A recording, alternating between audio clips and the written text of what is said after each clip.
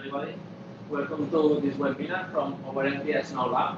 Uh, my name is Enrique Rodriguez. My colleague is Miguel Almayer. We are both application engineers in Barcelona office, MPS Barcelona office, and we are going to explain MPS solutions for implementing wireless power architecture. Thank you for your time. So, um, uh, so the main topic will be uh, solutions, MPS solutions for automotive uh, 15 batch standard. Uh, with me, there is Todd Toporski and Cecilia Yuen, uh, both field application engineers in North America. so they can help you if you have any question, um, either our team in Barcelona or the team in US can reply. Um, first, in the agenda uh, for today, we are going to go through the wireless power transfer standard. We will explain the main principles, main architectures. Then we will address the MPA9 transmitter reference design for higher power. And finally, we will show you a MPS reference design for MP, MPA9 architecture. And finally, on the on the webinar, it will be a live demonstration charging a Samsung mobile phone. So if we go for the wireless power transfer, uh, in the recent years, we have seen a steady increase in wireless power charging devices. It has been adopted by iPhone family from iPhone 8 and later on, also for Huawei, Samsung. So not only on phones, we can see other, other devices are going towards this wireless charging. Uh, the WPC, that is the Consortium on Wireless Power, forecast almost 1, million, 1 billion of transmitter for 2026 and 2.5 billion of receivers, what indeed it's meaning devices, right? So it's a big opportunity for automotive and for other consumers. Uh, the wireless, the main principle for wireless power transfer is based on inductive coupling between transmitter and receiver, which requires that both coils are closely coupled to be able to transfer the energy. This indeed, uh, it's making that the power transfer efficiency and also distance is limited this because of this um, coupling of the inductors. If we go to the Qi standard, this is the standard defined for the wireless consortium, and uh, there are many companies belonging to this uh, consortium. Uh, they have defined two kinds of levels of power. The low level up to 15 watts, uh, there is a basic profile that it's charging up to 5 watts, and then there is extended profile for low power that you can reach up to 15 watts. However, we have seen Apple, Samsung, and Xiaomi adopting their own protocols, so it's not so standardized. Uh, and then we have another medium level to, to be standardized to be able to charge in the future maybe laptops or even kitchen devices. Uh, in terms of working methods, there is two uh, main working methods established by the uh, standard. Uh, one is moving switching frequency, especially for consumer, and then a fixed frequency, especially for automotive applications. The standard also defines a communication protocol between transmitter and receiver, also fix a range of frequency from 87 kilohertz to 205 kilohertz. And in the last phones, it has been released of the standard 1.2.4 that includes new features, especially regarding the communication. The Qi standard also defines different reference designs these examples, for example, for 5 watts. Uh, the, and also it defines for a single coil or multiple coils. What is calling here as a position free because you have a larger area for charging your phone. Uh, for example, for ASICs, um, we say here it's mainly consumer uh, because the frequency range can be changed, so the frequency is not fixed, and the duty cycle can be changed to regulate your output power but what is fixed is the supply voltage to your hull bridge.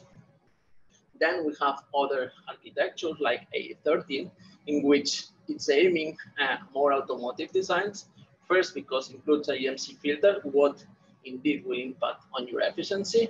But in this case, the frequency is fixed to 100 kilohertz or recommended, let's say, but fixed frequency and duty cycle is fixed. But what we change to regulate the output is the this the rail voltage of the full bridge. If we go to another reference design, is the MPA9. Uh, this we have seen it, it has been adopted for different OEM suppliers in automotive. Uh, as again, the switching frequency fixed, the duty cycle fixed, but here we have a, a, a, full bridge to be able to deliver more power and more efficient uh, to the system. and we have to change the, the voltage rail to be able to regulate this output, the output power. Um, so we are going to see now for MPA9 a complete reference design, uh, what will be compliance with Qi and PMA, uh, that will have a microcontroller uh, to be able to modulate and demodulate and switch the coils. And also um, it will be able to detect, for example, foreign object detection, right? So it's a complete solution to, to enable wireless power transmitter. From the point of view of architecture, we can see different blocks. First of all, there is a digital buck boost converter that will supply the DC rail. And that at the same time, it's supplying the, the full bridge and the resonant tank of the wireless power. Uh, we see this full bridge, uh, and then we have, uh, let's say, complementary um, power architecture that will supply 5 volts to the CAN drivers or the MOSFET drivers if needed, or 3.3 LDOs to supply the Qi wireless transmitter or NFC that it's included in the last version of the Qi protocol. So if you see uh, some reference design as example, you have here the discrete boost, you have the current sensor, what is essential, for example, for detecting, detecting foreign object detections, the full bridge, the Q detection, uh, to able to detect if there is any change on the Q of the resonant tank or the coil switches. Are, and so with some complementary devices like the CAN and LIN drivers, the NFC, and the communications. Uh, MPS, based on this design, has proposed a two MPS IC, so to be able to implement the complete architecture with only two devices. Uh, one of them is the 4262, that it's a buck boost and digital controllable, and then the 4280, that it's a front end especially designed for wireless power. Uh, the 4280 not only includes um, the full bridge and the current sensing, but also a buck converter and LDO to be able to supply the rest of peripheral circuits. So uh, if you will look here in the previous reference design I show you, we are substituting, we are replacing the discrete buck boost converter for the 4260, and we are replacing many other parts of the circuit by our 4280. In terms of comparison in size, just comparing the full bridge uh, implementation with our implementation, right, it's even smaller even we add current sense amplifier, even we add DC-DC and LDO. So our um, integration is much low, much higher than uh, current uh, market solutions. So if we go through um, more list of advantages of our solution, as I said before, we have, a, of course, a lower BOM cost, reduced PCBs price, we have this extra buck, but also we have the possibility to adjust the slew rate for EMI the slew rate of the of the full bridge. So uh, this also it fits better on automotive applications. So I'm going to describe now um, some uh, some of the ICs, giving some specifications and also giving some uh, characteristic waveforms like efficiency we can get heat dissipation. So uh, uh, coming from the previous uh, reference design, we have proposed this solution we implemented with the 4262 and the 4280. And then we have put in our reference design all the other circuits that are needed to implement it. Um, so uh, fitting on the MPA9 reference design. Uh, as here you have um, some specifications on 4280. Uh, the first one is a full bridge, the part of full bridge. Uh, it can have a wide input from 1 volt to 36 volt input voltage with a really small on MOSFET on resistance to 21 milliohms, and it stands up to 5 amps continuous output current.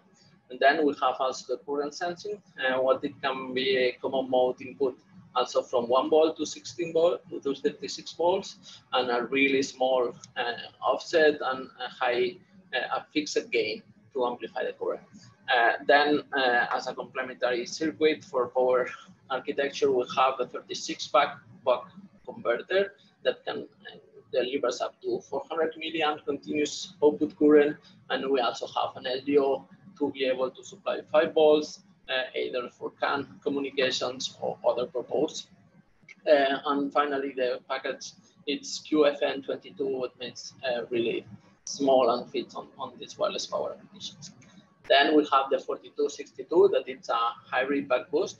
Uh, it has a digital, it's fully digital programmable.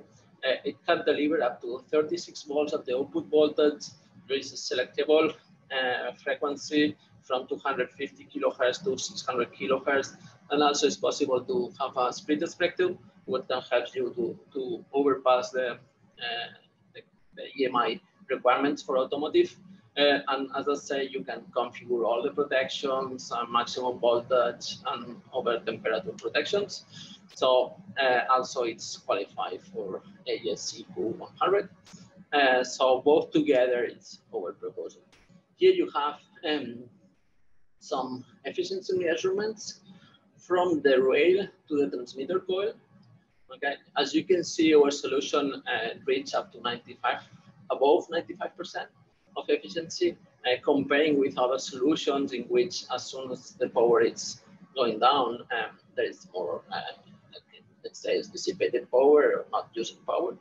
Uh, so our solution is um, more stable on the complete range of power. After I have, we have some uh, efficiency, including from the input voltage to the transmitter coils. So uh, in this case, we can say we are around 90, 90% a little lower when we increase the, the power. Uh, and if we consider the complete solution from input to output, we can reach about 70% of efficiency, but this will depend on many parameters. This is why we have not put it in the slide as type of coils, receiver alignment, separations, and receiver circuit, right? So if they use synchronous rectifier or it's a passive one, it will have a, a big impact on the efficiency. So we prefer to limit to just overpass. Finally, uh, we have done some temperature measurements. Uh, this is working at 220 kilohertz and the MPQ 4262 switching at 420 kilohertz uh, uh, and output of 15 watts. As you can see here, the hottest spot is on 4262 because it's the one who is um, doing the harsh are switching part. Um, but even this, the increment is around 20 degrees, a little less. Uh, so uh, we think for applications uh, usually on temperature ambient that could be 100 degrees for automotive environment could, could perfectly fit. Um, so I'm going to uh, leave you with Miguel. He will explain a little bit our PCB um, reference design and we'll show a little bit how, for example, a Samsung phone is charging. So, okay, thank you. Um, so this is uh, the wireless charger designed for automotive applications that we made at MPS. Here we can see the charger, and then we will proceed to put a mobile phone at the, uh, at the top of the, the coils. Uh, this, this, yes, this design is a very compact solution that uses the Qi MPA9 topology using the new uh, MPQ 4280 IC, full bridge that we can see at the middle of the PCB. It has an integrated buck. Here we can see the inductor. This is supplied by the DC-DC. Uh, here we have the coils. Uh, this is the coil selection MOSFETs for selecting the coils. The MCU, and here we have the Canton transceiver. Uh, here we also can see the, the modulation circuitry for the communications. Right now, uh, here we can see at the oscilloscope, this is the, we can see in yellow the resonance voltage between the coil and the resonant capacitors. Right now, uh, the charger is looking for a receiver on its coils. It can be seen in the form of uh, these pings. Uh, if we put, uh, we position the mobile phone in the coils, we can see that the we can see that the transfer uh, the transfer power uh, phase has begun, and the uh, mobile phone and the transmitter are communicating in order to set the input voltage of the full bridge uh, that is set by the uh, mobile phone. Uh, yes, we could see that the voltage increased and then decreased. So this has been the demonstration. Now we can proceed to the Q&A.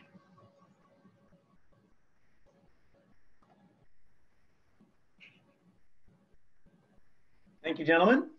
Uh, so now for those of you that are attending, if you have any questions, again, uh, at the bottom of the Zoom webinar interface, you'll see the Q&A button. Go ahead and pop that up and fire away any questions.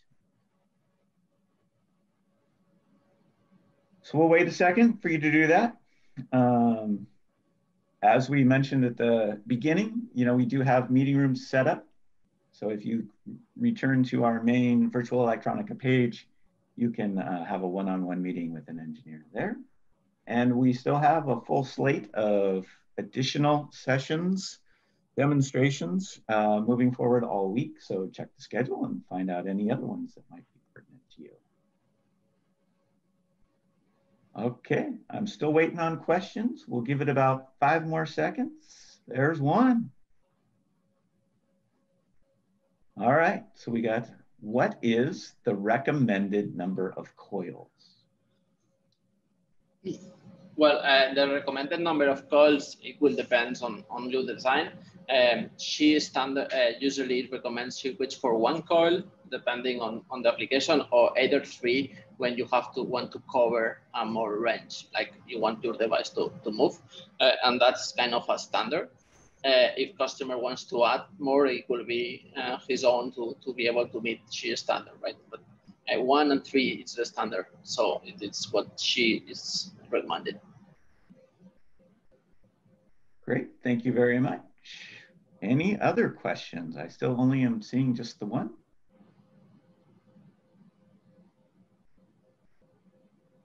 Okay, not seeing any further. Oh, here it came at the last second.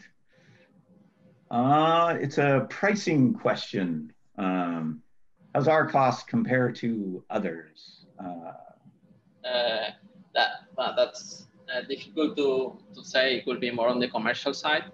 Um, so it's better to talk with our sales uh, team, depending on the region, uh, and contact directly them. They can give better quotation on through or through some of the distributors. Okay, so. Uh, but for example, if you compare with a discrete one, right, like we showed before, uh, we are able to to put together in one IC many multiples part of the circuit. So in terms of cost will be uh, for sure much, much cheaper and less space, less space on the PCB. Okay, thanks, Henrik. Uh, any other questions?